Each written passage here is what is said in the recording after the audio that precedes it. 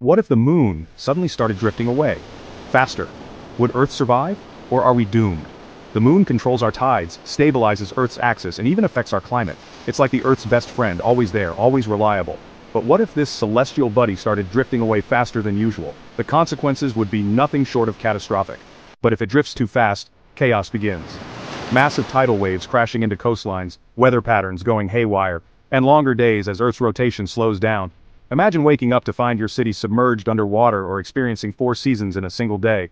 The moon's gravitational pull is what keeps our oceans in check, and without it, we'd be in for a wild ride. Imagine tornadoes, floods, and heat waves all at once. And that's not all. With the moon's gravitational pull weakening, astronauts could be left floating helplessly in space, watching. The moon's influence extends beyond just Earth, it also affects space missions and satellite operations. A drifting moon could mean disrupted communications and navigation systems, making space travel even more perilous. As the moon escapes Earth's grasp. Could this really happen? Scientists say, maybe, Without the moon's stabilizing presence Earth's axial tilt could vary wildly, leading to extreme climate changes.